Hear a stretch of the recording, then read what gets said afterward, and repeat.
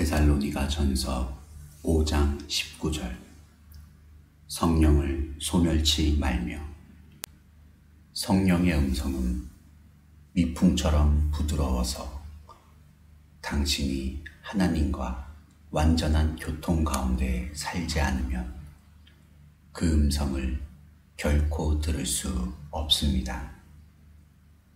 성령의 가책은 가장 부드럽게 오기 때문에 만일 그분의 음성을 감지할 만큼 예민하지 않으면 당신은 성령을 소멸할 것이고 당신의 영적 생활에는 지장이 생길 것입니다.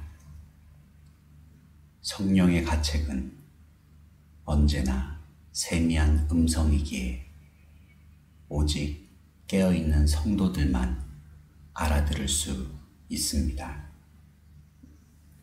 만일 개인적인 간증을 할 경우 수년 전에 나도 한때 구원을 받았다 라고 말하며 과거를 되돌아보아야 한다면 주의하십시오.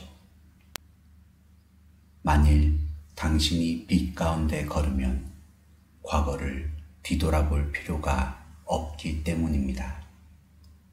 과거는 현재 하나님과 나누는 놀라운 교제 속으로 묻혀버립니다.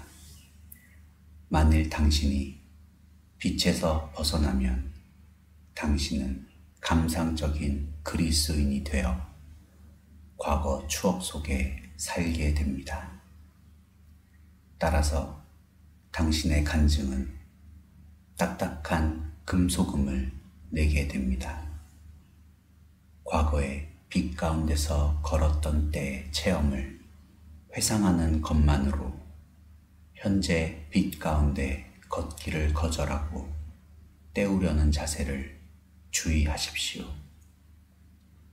성령께서 무언가를 가책하시면 당장 멈추어 서서 그것을 바르게 하십시오. 그렇지 않으면 당신은 자신도 모르는 사이에 성령을 근심하시게 할 것입니다. 하나님께서 당신을 위기 상황으로 몰고 가셨다고 합시다. 그런데 당신은 그 위기를 적당히 얼버무립니다. 그러면 하나님께서는 그 위기를 다시 조성하실 것입니다. 그러나 이번에는 전처럼 고통스럽지는 않습니다. 또한 하나님을 덜 의식하게 될 것입니다. 이때도 순종하지 않을 경우 더 큰 부끄러움이 임하게 될 것입니다. 만일 계속 성령을 근심케 하면 위기는 더 이상 반복되지 않는 시간이 올 것이요.